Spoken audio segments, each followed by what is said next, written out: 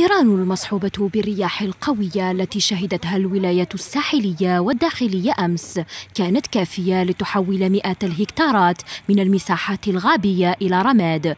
فبجاية لوحدها شهدت 33 حريقا منها سبعة حرائق مست غابات المنطقة. فيما يخص حرائق الحرائق عامة 33 حريق 26 منها عبارة عن حرائق آه، بسيطة للأعشاب اليابسة. سبع حرائق آه، هي حرائق غابات لتزيد الأضرار فيها عن هكتار هكتار واحد من من الغابات وهي في المناطق آه، مختلفة من دوائر ولاية بجايه ثلاثون متضررا من النيران بولاية بومرداس معظمهم من النساء والأطفال أصيبوا باختناق وصعوبة في التنفس بسبب أعمدة الدخان الناجمة عن موجة النيران المهولة التي وضعت الطاقم الطبي لمستشفى ثنية في حالة تأهب قصوى.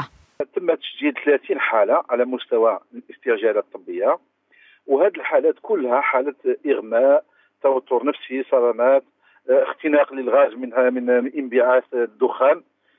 تم التكفل بهم. ولم ولم نسجل اي حالة خطيره من حالة حروق لا درجة أولى ولا غيرها التهمت الحرائق التي اجتاحت ثلاث بلديات في ولاية بومرداس أول أمس أزيد من ثمانين هكتارا من الغابات مشكلة من أشجار مثمرة وأحراش وأزيد من عشرين خلية نحل. فيما عرفت جيجل تيزي وز البوليدة وتيبازا نفس المصير وتبقى أسباب الحرائق إلى حد الساعة مجهولة.